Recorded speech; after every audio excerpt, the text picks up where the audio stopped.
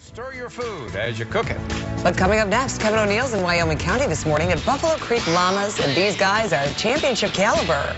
It's 552 on Daybreak.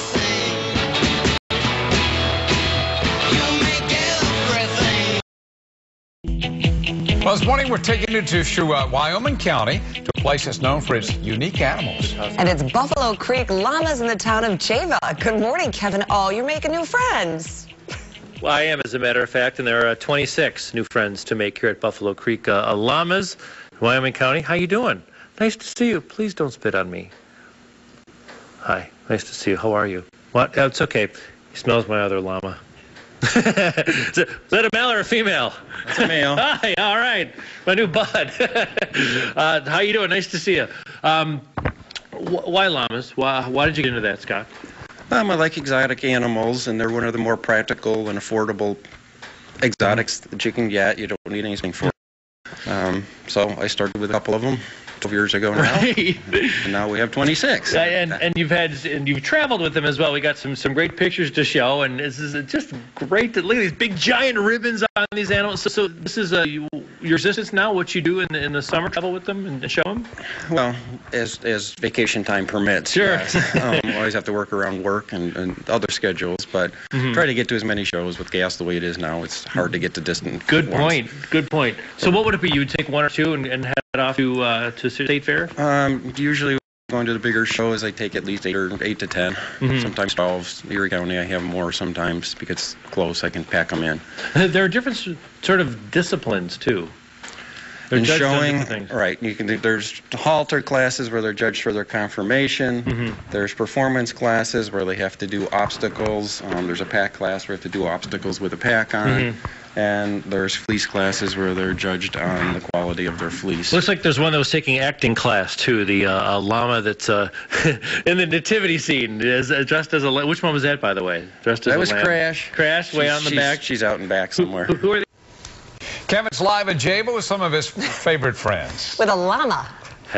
Have yourself a merry llama Christmas. Make they love this. Just don't think Grandma got run over by a reindeer. I get.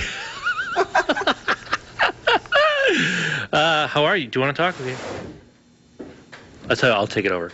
Uh, Scott Dyke decided he wanted to own exotic animals, and he uh, chose llamas wisely. I have a certain kinship uh, with Scott and other people that own uh, exotics. I have uh, parakeets, so uh, kindred spirits, as a matter of fact. Um, we're at Buffalo Creek Llamas in Wyoming County. Uh, these are a mailing address. Technically, we're in the town of uh, Java, and we're heading out with the, we're hanging out with these extraordinary animals. Uh, by the way, Christmas is coming. You see the Kay's Jewelers commercials say it, diamonds, gold. You know what, guys? This year, say it with llama. Don't you want this Christmas to be remembered forever? And it would be. She'll never, she'll never forget the Christmas you surprised her with a llama. Not when it's under the tree, Just she won't. They are beautiful animals. All right, we'll check back. Thanks a lot, Kevin. Kevin is in Wyoming County this morning with some animals that are not as rare as you might think in uh, western New York. Hi, Kev. Hi, there are three ways to judge a llama, in case you're wondering. Uh, there's a fleece competition where uh, the the judges will will actually go through a checklist and and go hmm uniformity hmm okay fineness uh, tensile strength hmm all right tensile strength. so that's that's what the other one is like halter which is akin to sort of like a dog show where you're sort of looking at the structure of the animal. Okay fine.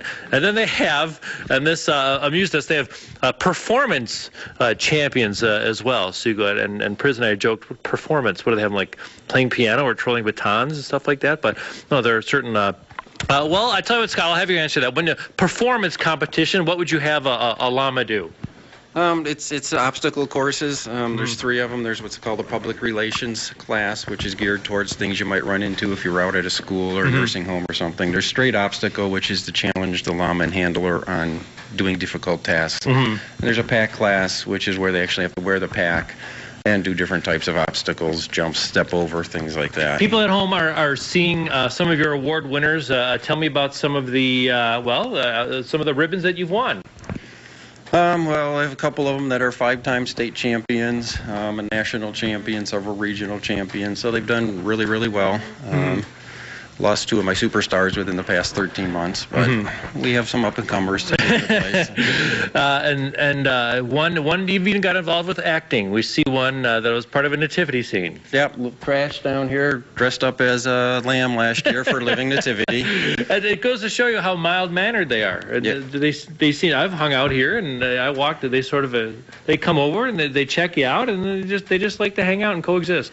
Most of them, again, it's it's like a lot of other animals. Uh. It's it's part temperament, part upbringing. Uh, Common question and uh, that the, the the spitting, but they don't really spit at humans typically.